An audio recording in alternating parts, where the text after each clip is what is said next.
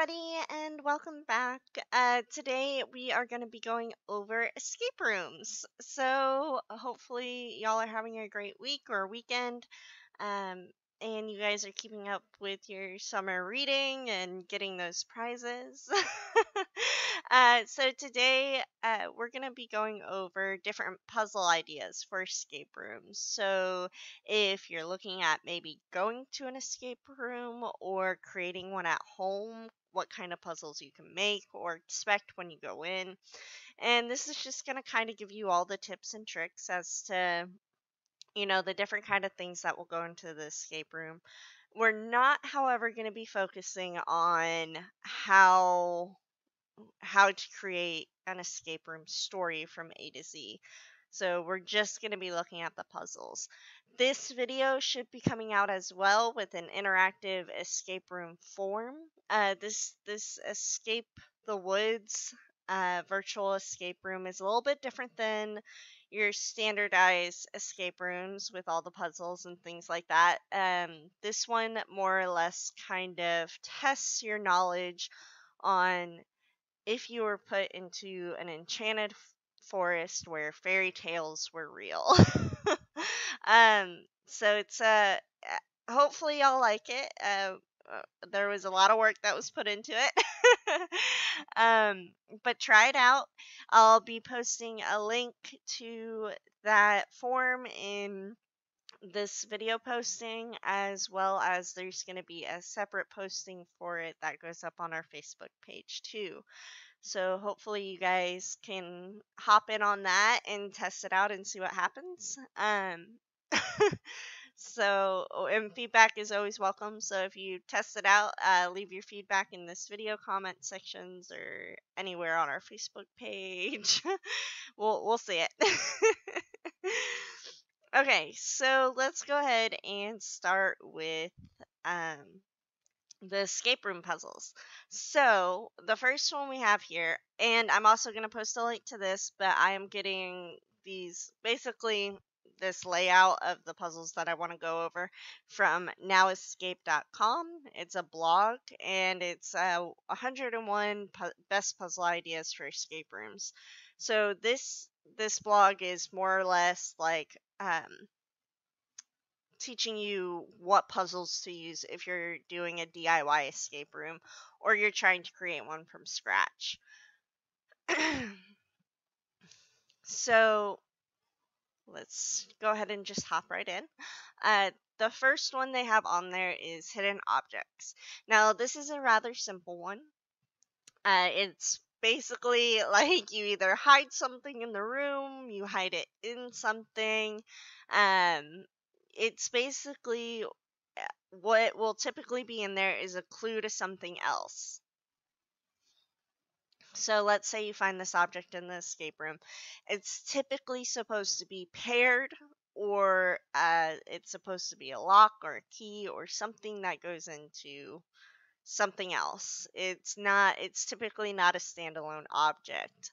Um, the reason for this is because if you make it a standalone object or it is like the puzzle solving thing, you're going to run into the problem where the first thing people do when they get into an escape room is they look everywhere. Head to toe to ceiling, they look everywhere, thinking that, you know, there's going to be the combinations hidden around the room. when in reality, escape rooms are more or less built to test your mystery solving abilities and your critical thinking skills and things like that. So, you're going to want to make, if you hide an object, you want it to be paired with something. So, and this is another thing that we'll talk about later, you can hide a black light somewhere and then have writing in the wall that only shows up when the black light is shined on it, shown on it. um, so that is one possibility. Um, another possibility is you could hide um, a key and it may not necessarily be a key to one of the five locks on the escape room box as is, but it can be like um, a key to a safe that holds another object or something like that. Um, So it's just really one of those things you don't you want to avoid trying to hide the actual code somewhere or hide the actual thing that's going to get them out. Um, because that's going to be an easy easy find for people. um so the next thing we're going to go over is lighting.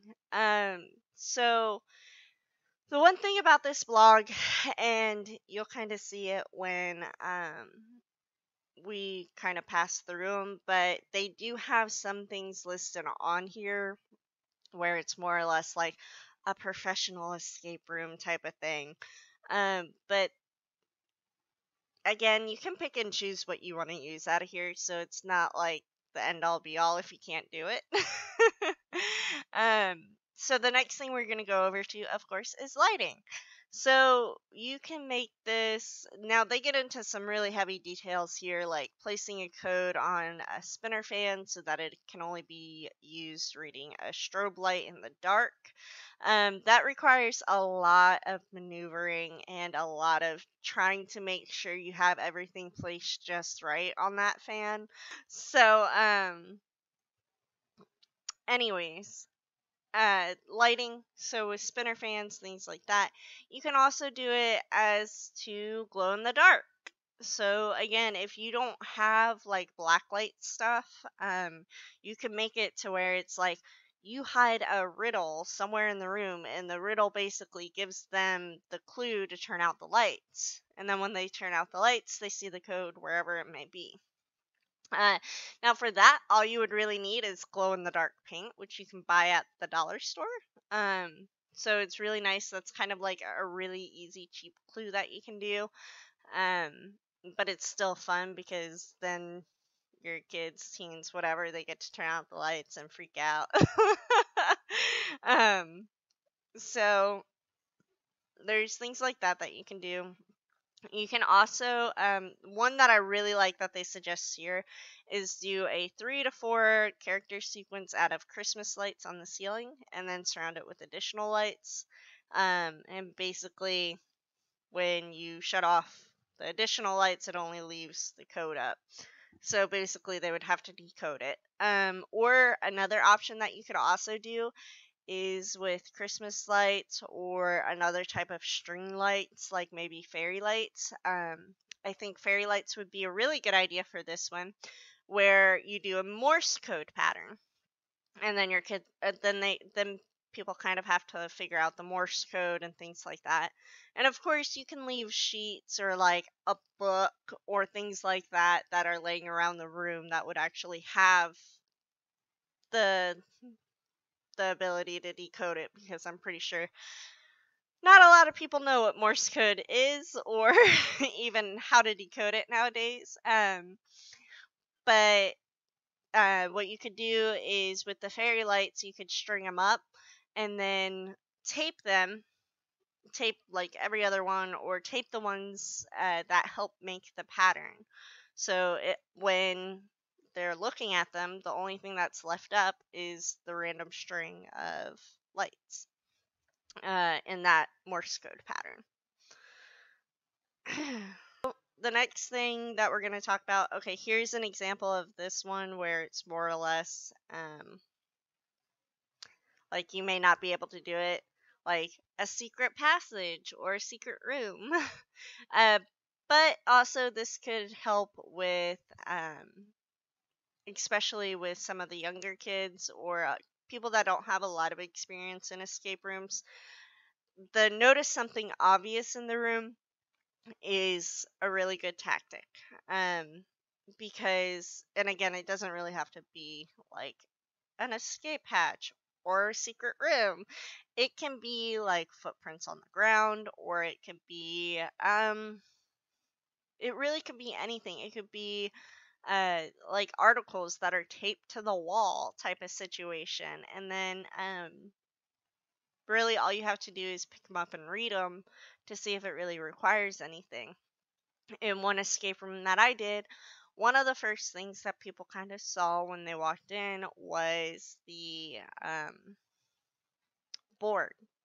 There was a board that had everything like it had a map and then it had um, some of the puzzle pieces on it and it had articles on it and basically what i did was i designed this teen escape room as a um, haunted amusement park so it was based on the old Astro World that was here in Houston. And what I did was I got some real articles and then I got some articles that I made to fit into um, the puzzle and basically made it into like an haunted amusement park. And so the articles were put on the wall as well as strings and things like that so they could kind of connect the dots of uh, the Astro World Park. And it was one of those things where it was like it's typically the first thing they go over and look at because it has the most things on it and that's good because that draws their attention to those clues and those objects and things that need it. So when you build an escape room you don't always want everything to be hidden because if your players can't find the things that they need to get out with or they're having difficulty finding them, they're just going to kind of be like, well, this is pointless, and throw their hands up and walk away. Um, and we kind of talked about this one. Uh, sorry, I kind of transitioned really quickly. But, anyways, that concludes the find something obvious in the room. Uh, we're going to move into symbol situations with the key. Uh, now, this can be a variety of different things. Um, if you have a directional lock, like ones that have arrows up, down, side to side, and um, whatever else, you can use that. It's a really good lock to have, um, mainly because it it's one of those things you can use for a variety of different things. You can be talking about north, south, east, or west. You can be talking about you take five steps forward and five steps to the right, and X marks the spot, or whatever. And so it's a really good directional lock to have. And again, in the escape room that I talked about, one of the clues was they had to find the underlined words in the article, um, which typically led them to a specific point. And then they had to put those articles in chronological order, and then they would get the directional lock. Um, so when it comes to symbols and situations with a key, so what are we talking about if you don't have locks or you don't have all this fancy stuff? What you can do is go back to the original puzzle idea, things with like the Morse code. Again, you can give them something with hieroglyphics. You can make up your own pattern or your own designation but be sure that there is some way for them to get a key in order for them to decode this because you can't expect your players to have all this knowledge on hand. Um, so with the pattern, just be sure they have a key somewhere. Now you don't have to make the key obvious. You can hide it, use the hide an object for that part. Hide it in a book, hide it behind the bookcase, hide it.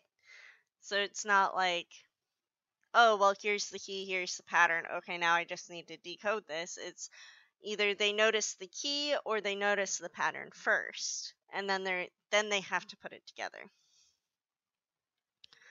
Um, so another thing that they have something in here is called using something in an unusual way.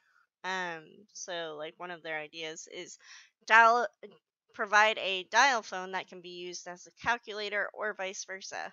Now, some of these things might become hard to come by. Like, I'm not really sure where you would get that. um, but like I said, there's a lot of things in here that you can take or leave or even modify so they kind of fit your need.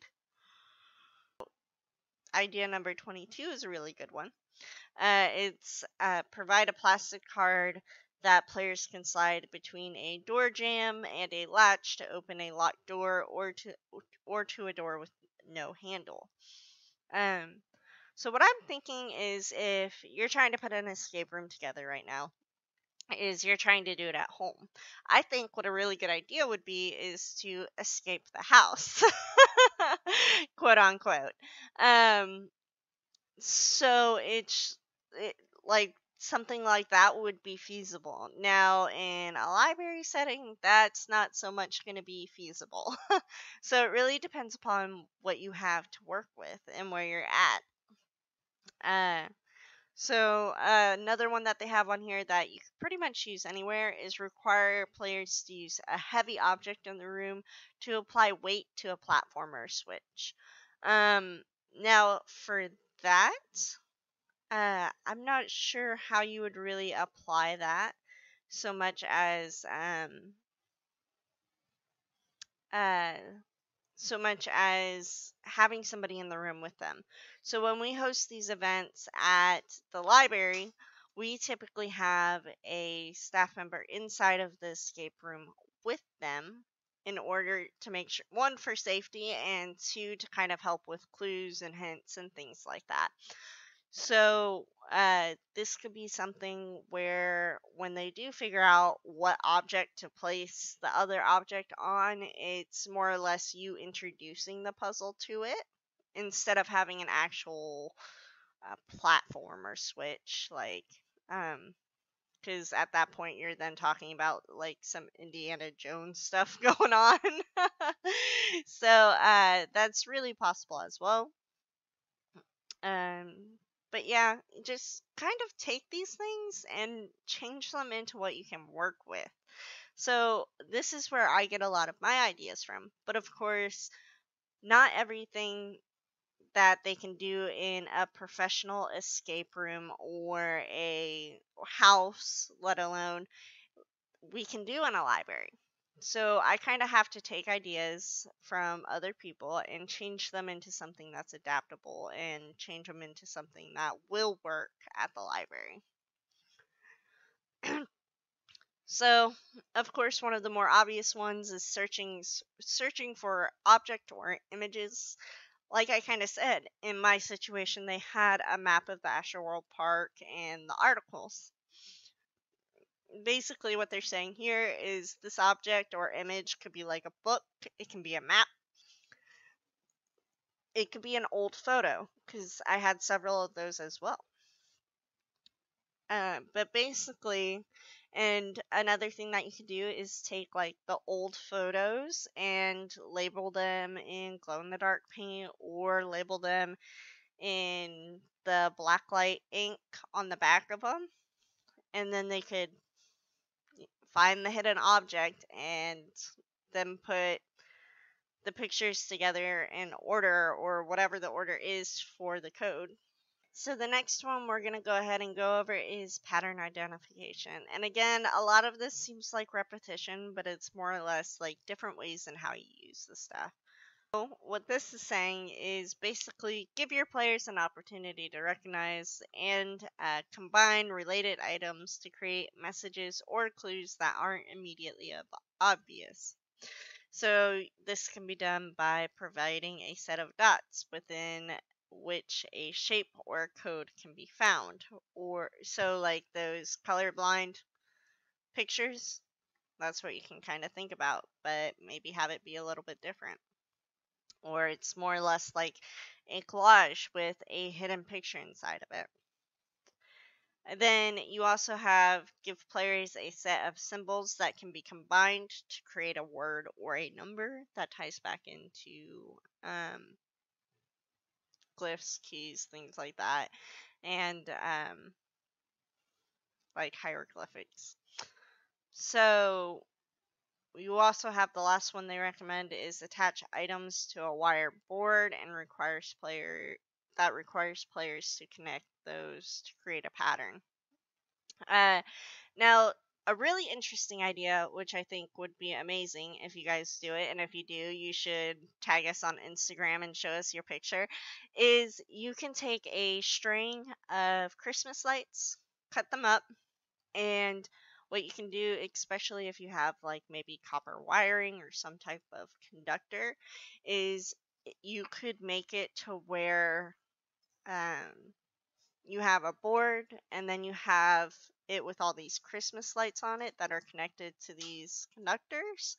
And then uh, whatever the object is, like if it's placed on the right one, it can it would light up the thing. Or even if it's just like you have one itty bitty Christmas light hidden around the room, and then you have a conductor running to it and running all the way to this random spot in the room that has like maybe a platform or it's something obvious that stands out. And then once they find that object and put it on that pedestal or area, it actually lights up that itty bitty light in the room that could possibly then lead them to another clue. That would be really cool, and I will probably use that in one of my escape rooms now.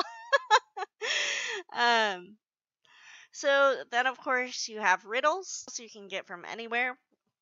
If you're not a riddle whiz kid, uh, you can find them literally anywhere online or in any riddle books at your HCPL library.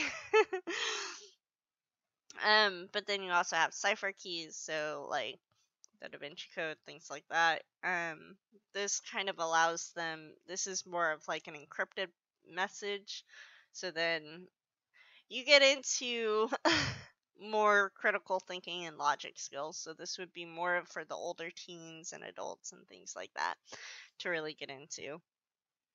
Um, but basically, what it does is it's supposed to be instead of just like matching everything together, it's more or less like you're trying to get the code out of it and then figure it out type of situation. So these can actually be pretty confusing. I mean, they're still pretty confusing for me, but I mean, hey.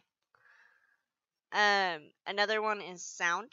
So I really like this one. And again, I used this one in one of my escape rooms. Now, this one, when I did sound, I did it as kind of a bonus round because not a lot of people pay attention to it. So it was, and I was designing a room for teens, and um, it was during a large event, so it was going to get loud and things like that. So I didn't want it to play a dominant part in my escape room but we did throw it in there as kind of like a bonus thing. So like if they figured it out, then they would uh, be able to get an extra minute or a minute taken off of their time, things like that. So with uh, the sound, you can basically play like you want to give them a repeating code. You don't want it to be too long. You don't want it to be ambient noise. But like again, you can use Morse code. So, like the tapping, um, you could use a sequence of sounds, animal noises. What I did was I actually used a clip of a song. Now, this song uh, was this whole escape room was Halloween themed. So the song was the, from The Nightmare Before Christmas. And there's a part in the song that says, I am the creature hiding under your bed. Um, and with that, we actually had like a little couch sofa area, and we had a key kind of taped right underneath that. So if they were listening to the song, and it was just a clip, it was like a 15 to 30 second clip of that that song. So it wasn't like too obvious which phrase they needed to pick out, but it wasn't the whole song on repeat. It was just that 30 seconds, um, or that 15 seconds where it was like, I am the creature hiding under your bed. And so maybe if they kind of looked under the sofa, they would be able to find that key and then get that bonus thing. Uh, but yeah, so there's different things you can do. You can do cassette tapes if you still have those. uh, you can use uh, other different kind of codes. Just get creative with the sound part of it. And again, this this may be something that you do um, depending upon who you are. Uh, I know from my from my experience, uh, I noticed a lot of teens kind of recognized the sound and then they wrote it off. There were maybe one or two that were like, "Hold on, this is actually just playing the same thing over and over. So that may be something to do. Mirrors, this comes into, uh, again, kind of like hidden messages and things like that. Something that you could do is um, you could have something like this printed out and written up or written up and you could have a mirror in the room that literally just has windows for each letter or word that needs to be highlighted to make a code. Um, so what I I like to use a combination of things because typically just holding that up to a mirror and then if if you were just to be like, "Oh, here's this thing. I just need to put it in a mirror and then hold it up to a mirror and have the code, then it's not much fun. Whereas if you're now giving them, okay, I'm looking at this in the mirror, but I can see this needs to be lined up, and then write down whatever is lined up for the code and then break the code, it makes it a little bit more challenging.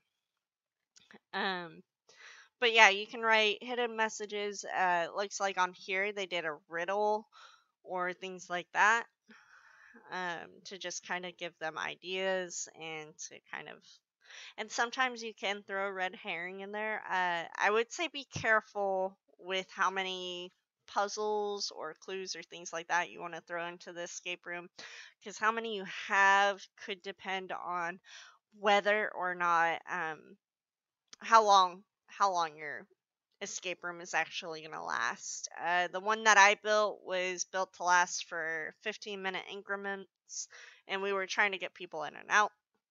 So it was like if you didn't solve it in that 15 minutes, you lost.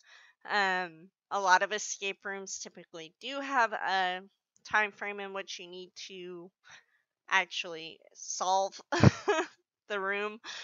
But if you're doing this from home and you don't really have a time constraint or things like that, that's fine. Um, but I would say just be careful with how many puzzles and clues and things like that you throw into it because it could eat up a lot of time. Because one thing you will be amazed by is how much time is eaten up just by people looking at random stuff in the room that has nothing to do with the puzzle at all. Like, oh, what's this light bulb? like, why is it loose? It's like, that's just loose because we haven't tightened it in five years or something. You know, it's just kind of one of those things you want to be mindful of that experience. And even if you are doing it from home, I would say you probably want to want to go over like 30 minutes at most um, because at that point people start losing interest and things like that. Um, you also want to keep in mind how many people are you doing this with. So if you're doing it with like five kids, are you doing it with four? Are you doing it with just the one? Then it it varies to how much you can put in there. But I would recommend go ahead and taking a look at this site. They have so many other ideas on here. Now, some of them you may not be able to do um, given your location, but there are a lot of things on here that you can use, like smell, taste, senses, sound, things like that, that don't take up a lot of time, don't take up a lot of um, energy, or things like that. So I would say just really sit down, take a look at the site, and kind of modify what's what you like on here to fit what you need. Like I was saying, I typically have to do that all the time because a lot of the things I want to do for an escape room, I can't do in a library setting. So I have to modify them to make them doable in a library setting. um, but yeah, it's just one of those things. Kind of, there's a lot to consider when you build an escape room. Um, if you guys want to try out a different type of escape room, we have our virtual one going up. So don't be afraid to check that out. Uh, now, there are, since it's a virtual escape room, what wound up happening is there are ways you can lose. it is not a one set path. so you actually have to, well, it, it is and it isn't. So it's a one set path, and like you have to find the right path to get to the answer. But there's multiple ways to get there. But there are also multiple ways that you don't get there. so if you don't get it right the first time, or the second, or the third, or the fourth, it doesn't mean that it's not there. It just means that you need to find it. Um. So yeah, I would go ahead take a look at that. Uh, our virtual escape room is a bit more testing your knowledge on classical fairy tales and folklore, kind of fitting with our theme for summer reading. Uh, but that's about all I had for you guys today. Go out there, build some escape rooms. uh, they're a lot of fun, and you can do these at home, like this picture shows. Even if you have like a study or something like that, it'd be a really good place to do it. Um, but even if you're not doing it in a big fancy house, you can always do it in maybe like a studio apartment where it's more or less like a box that you're trying to unlock. So modify it. There is no limit to what, how, where or how you can do this. Um, and again, use if you're working with limited space, use those things that don't take up a lot. Make it a lockbox that they have to try and figure out. And the locks don't even have to be real. you could just make them out of paper or something and just be like, oh yeah, you got this one, or things like that. I mean, it's gonna be fun no matter what you do. Um, you just got to make the puzzles interesting and engaging. Uh, but yeah, that's all I had today. So I will see you all next time. Hopefully, y'all enjoyed this video. Go check out our escape room, please, please, please. uh, and leave some feedback for us. And we will see you all next week. Bye, everybody.